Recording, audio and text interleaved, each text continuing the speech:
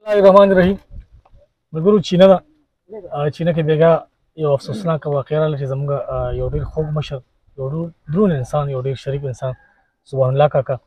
کوم چې بیګا ما خام مخصوصن کې چې ظالمانو شهید کړ دا غي نماز جنازه وشو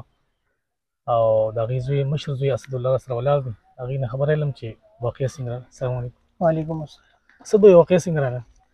دا خو بیګا ماښام زه کور کې ناست وم او ناګهانه ډزې شوې چې ډزې شوې ما ته مې د ورور چې لږ راشه ابو وویشته چې زه بار ورغلم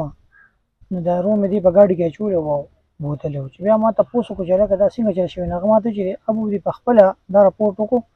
چې دوه کسان په موټرسایکل باندې رالي یو سپین نقاب و یو تور بس ما سره سلو شو زه کور مخې ته ناست وم په ما باندې ډزې وکړې بس دغه واقعه وه مړو ډایرکټ مړو بس بیا هسپتال بیا ما په خیال په موټر وې باندې بیا ساه ورکړې ونه رسېد هسپتال ته نه ونه رسېد چارسده کې دا بیان هم بې ورکړ بس دا خبره تاسو خبر کړی دوه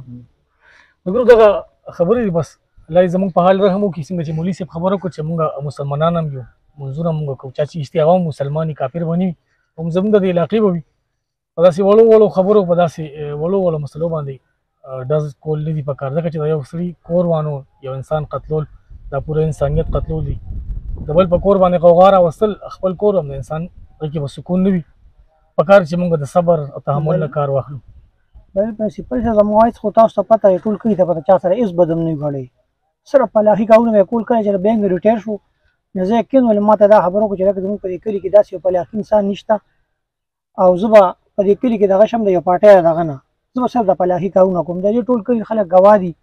خپل جیب خدای ګوچې پیسې لګولي دا ناظم عمر حق صاحب دې خبره ګواه دا ټول کلي خلک ګواه دي چې د خپل جیب خپل پیسې لګولي دي او ما ته چې دا خلک زه نور خلکو محتاج نه کوم په زمانه والي صاحب صاحب دغه یو ګناه ده بل یې ما ته خو ګناه نه ښکاري زما تقریبا دوه دوه نیم کاله هغوی سره وشو ځکه چې ما سره خوا کې د هغوی ژوند و زما هلته سکول نو په لار چې به ته کمزورې روانه هغوی له به پیسې ورکول تیل چاته به ختم شو تیل به ورته واچول یقیني ساته زما میلمه زما چې څو هغه به د هغوی د کور یو ډېر جلالي انسان و الله پاک وله شهادت مرګ هم ورکړه ځکه هغه جن هم خپل الله پاک دا هغه جن به ان شاء الله غو دا او یو کسانو به ذمہ وار وي دله د لا صبر ورکی او بهترین انسانو کلی په گوي کوي او د قومي وطن پارټي یو سرګرم کارکونو سکندر حیات خان هم راغلی ولا برال کداغه جرم نو بس په دې جرم کو یو سړی وجل کیږي دا سي چینا غازول ردا پسمانده علاقې دغه غریب خلکو आवाज وچتو هغه منډه تړل به والا برال خنه دي شوی مون ټول په خپوي ولا دي غيو بخي او چام چې کړی خې نه دي کړی په دا یو میسج ورکوم چې مهرباني کې کم اس کم ټوپک مراله دز مکه کو ساس چا سر نه لګي وي دا شی پوهه کې خبره ورته کې غزار تی واسه خو دز نه دي پکار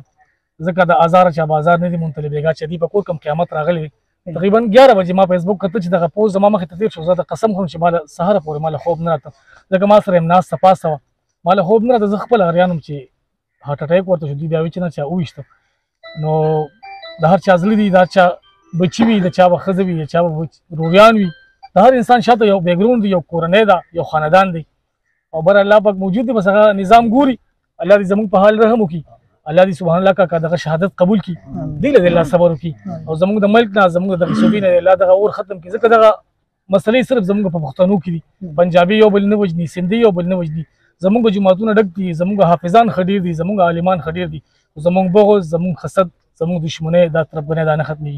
الله دې زموږ په حال رحم وکړي ډېر زیات خپه یو په خپل ټول کلی په خپه دي الله دې غيو بخي دې له الله صبر وکړي او چام چې کړی هغه خني دي کړی همدغه دعا سره خپل لور عارف مله ورکه اجازه الله پامه